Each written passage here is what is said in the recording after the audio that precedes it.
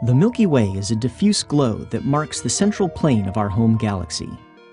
It's brightest whenever the constellations Sagittarius and Scorpius are in view. Between them, we're looking toward the very center of the Milky Way. Thick dust clouds block our view of the central region in visible light, but satellites like NASA's SWIFT, which detect X-rays, can see straight through them. On September 16, 2012, NASA's SWIFT noticed a new and rapidly brightening X-ray source a few degrees from the galactic center. Astronomers quickly realized that this was a bright X-ray nova, something so rare that it's the first one SWIFT has seen. The object, now identified as Swift J1745-26 after its sky position, reached peak brightness in high-energy X-rays in just over two days. At lower energies, such as those seen by Swift's X-ray telescope, it continued to brighten into October.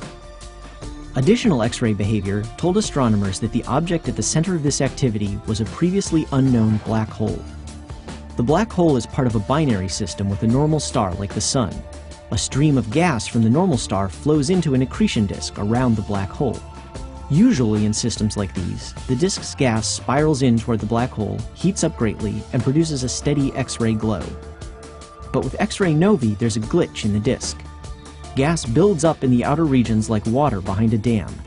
Once enough gas accumulates, which can take several decades, the dam breaks and a flood of gas surges towards the black hole, creating the X-ray nova outburst, and perhaps short-lived jets that blast particles outward at high energy.